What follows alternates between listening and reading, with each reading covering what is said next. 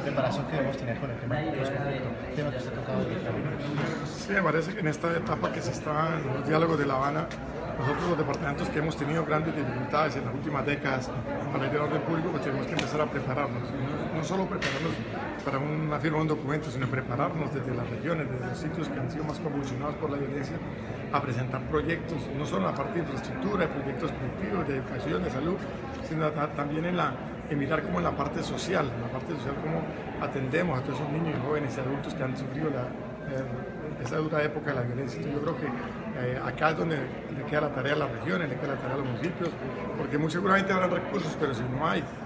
unos proyectos importantes, pues esos recursos no van a estar destinados a cerrar esa brecha social que queremos nosotros en todas estas regiones. Importante el desarrollo que ha tenido el departamento en el tema de vías. Ya tuvimos la oportunidad de visitar varios sectores y realmente el cambio se nota.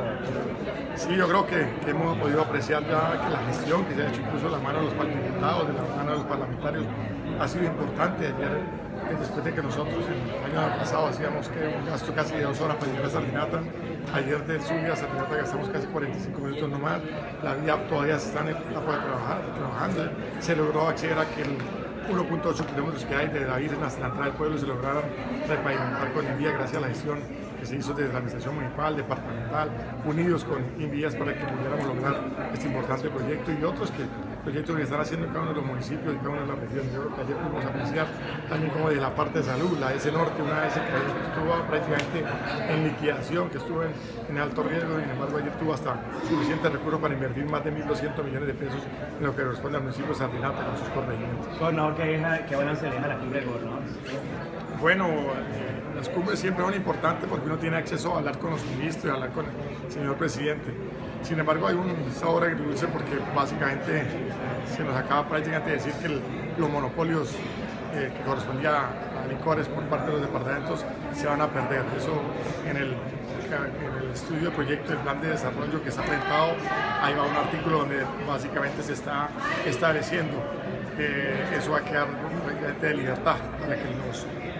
de otra manera el gobierno nacional sea el que administre y maneje este monopolio que fue importante para nuestras regiones para conseguir recursos. Miremos a ver si la propuesta del señor presidente, que es que los departamentos se les garantice que por lo menos los recursos que le venían llegando eh, anualmente van a llegar, pues muy seguramente nosotros tenemos esa posibilidad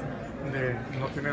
una dificultad, pero sin embargo nosotros, eh, como bien sabido, lo que uno no maneja no es fácil uno detectar si bien es cierto se puedan cumplir los compromisos. Ojalá, se fue una una idea que nos trajimos, sin embargo hay que reconocer también el, compromiso que hay del gobierno para tratar de tomar estos temas directamente con los gobernadores. Gobernador, hoy el municipio de Salazar de las Palmas se toma las principales vías en solicitud a los eh, que tienen en poder al exalcalde para que lo liberen. Usted hacía un llamado en la Asamblea Departamental, ¿cuál es el llamado a través de los medios, eh, Sí, lamentablemente no, podemos, no pudimos acompañarlos por este compromiso de la instalación de la Asamblea, pero desde acá hacemos votos para que esas solicitudes, esas peticiones, no solo de los familiares, sino de todo un pueblo salazareño donde solicita y de todo el norte de Santander donde solicitamos que para que haya una gran paz hay que dar demostraciones a aquellos grupos que tengan a, no solo a Emilio, nosotros, gran amigo de nosotros y sabemos de sus condiciones morales y éticas para administrar no solo a Emilio, sino a todos, por favor los devuelvan al seno de sus hogares. Emilio es una persona que ha sido batalladora, trabajadora, eh, emprendedora, gran trabajador, que su única riqueza que tiene es, ser amable, ser cordial con todos los salazareños, que por favor lo devuelvan al seno del hogar. Y que mi Dios pues eh, nos lo ayude también a cuidar, esperamos que el grupo de hermanos de la ley eh, o quien lo tenga por favor urgentemente lo devuelvan para que la familia vuelva a tener esa paz y tranquilidad que siempre ha tenido. Gobernador, para finalizar, el Consejo Municipal de Villarosario avanzó un proyecto de la creación o de pertenecer de Villarosario a la del plan metropolitano de ¿Qué mensaje enviarle a ellos? Bueno, yo pienso que los concejales tienen que empezar a, pensar en grande, tienen que tener un, un sin y en lo que uno propone, en lo que uno sale a, a, mirar hacia el futuro. Yo creo que la cultura metropolitana garantiza a los rosarienses que